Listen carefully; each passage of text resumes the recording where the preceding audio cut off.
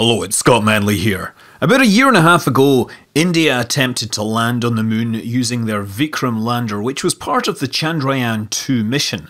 Now, as we all know, that unfortunately failed. But the mission itself wasn't a complete failure because the Chandrayaan 2 orbiter still had a bevy of instruments focused on the moon.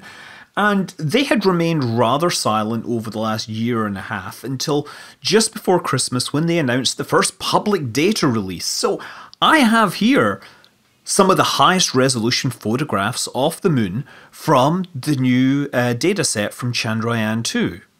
Now, I had to spend a lot of time actually downloading these and figuring out how to process them. In the end, I used ImageMagick, and these original images are like 94,000 pixels in one direction and 12,000 in the other. So there are actually things like JPEG just chokes on them. But the camera is great. The theoretical resolution is a quarter of a meter or about 10 inches. And when you zoom in, you can see uh, these boulders on the moon. Now, it is very much worth comparing it to the previous state of the art, which was a camera on the Lunar Reconnaissance Orbiter, which could, in theory, have a resolution of about half a meter. Fading across, and you can definitely see there's less data here. Now, to be clear, I had to go in and find an image with roughly similar lighting conditions, and when you find the same lighting conditions, you might find that spacecraft wasn't at the same altitude. So, you know, the, the comparisons aren't always uh, fair, but this is, you know, a really good example of showing how the you know, new camera is doing a whole lot better.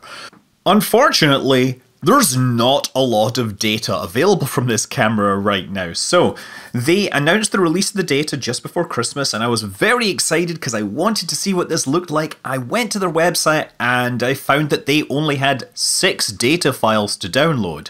And then I looked a little harder and realized that there were actually only three unique data files because there were calibrated and uncalibrated data sets. And that does make me wonder what they've been up to all this time, if they've only been able to produce three pictures from this new super high resolution camera on the moon. But I, I will get to uh, a little bit that later.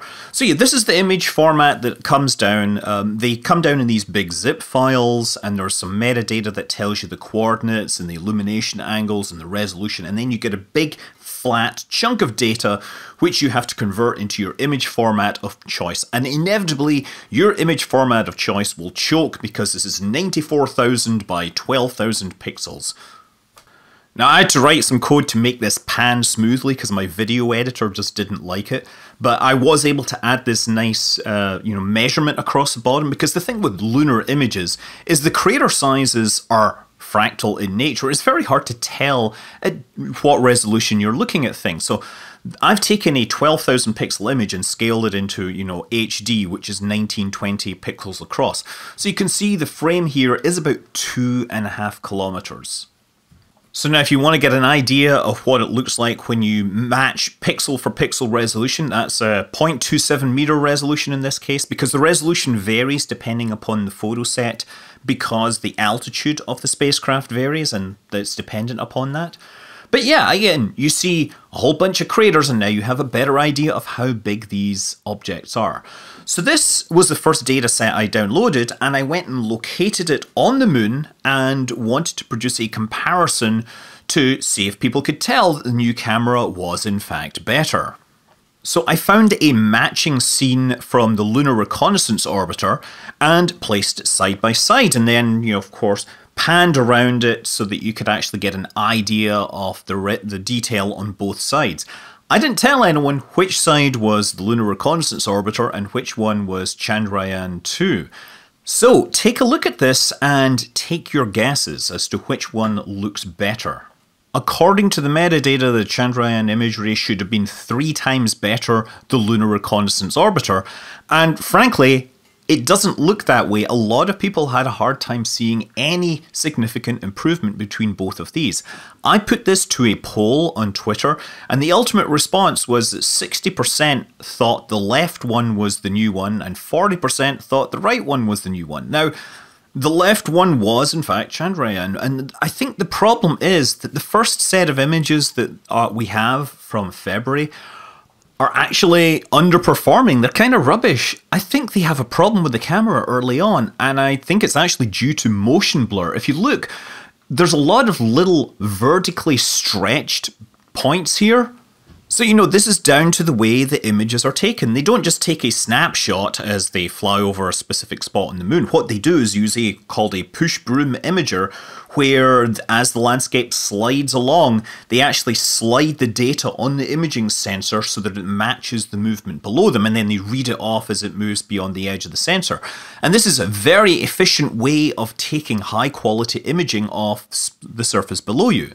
So the earliest data from this camera looks like they were just learning how to use a camera and it wasn't quite working maybe. I don't know, there's lots of possibilities, but ultimately the data that we have from August, which incidentally was outside the scheduled release, uh, it does look a whole lot better. We can zoom in on this patch and you can see these tiny boulders littering the surface of the moon. You can make out a lot more detail. This is the imager really operating the way it was supposed to. So good news is that we do it does appear that the imager is capable of doing what it's supposed to. The bad news is that we haven't got a lot of data from it right now. It may be that the data we have from February is just the stuff that got released. There's a lot of other secret stuff which hasn't been released for various reasons. We know that according to the various news reports about the crash that they supposedly took images off the crash site which were better than what NASA had, but uh, it's totally understandable that they wouldn't choose to release those because they're kind of embarrassed that they crashed, and they shouldn't be because getting as far as you did was pretty damn amazing. There is another camera on the spacecraft called the terrain mapping camera, and it is lower resolution. The, the pixels are meters across, but it has another interesting feature. So, this is a scan across a crater that was found, but it scans three times. So it has optics looking 25 degrees ahead of the spacecraft, it's looking straight down, and 25 degrees behind. So this gives you three different angles. And of course, we all know that by having the different angles, you can actually start to match points in the terrain and give them geometry. Or you can make simple animations showing how the viewpoint changes as the satellite passes over, showing this deep crater. It's a lot harder to pick out details in this one because the solar illumination is coming from a much higher angle so it can see inside the crater. But uh, all the same, you know, you can actually get an idea that this is a crater with a depressed object in the middle, uh, unless you've somehow got your eyes reversed and it looks like a mountain coming up, because that does actually happen.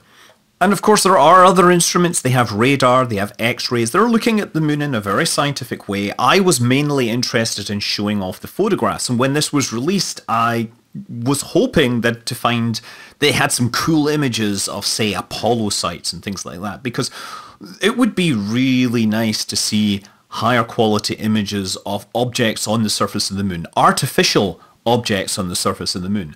But at least it looks like the camera is now capable of doing it. We can see these tiny little boulders scattered across the surface of the moon.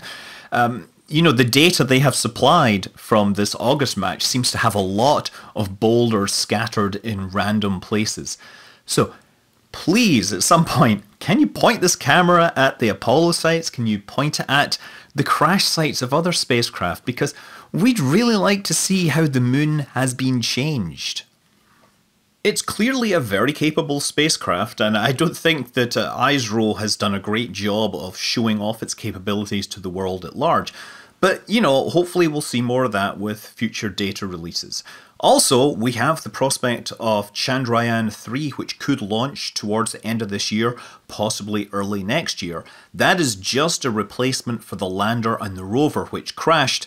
Um, there are going to be a few design changes for that spacecraft, and hopefully the most important design change will be that they fixed whatever problem resulted in it crashing on the ground. And maybe we'll be getting better telemetry and feedback on the way down. And hey, maybe if they land it successfully this time, they will, you know, have find it in their hearts to share some awesome pictures of uh, the land it landed on the surface and possibly the crash site of the previous one. So yeah, that's the data. It's out there for anyone to download if you want to mess around with it. I'm Scott Manley. Fly safe.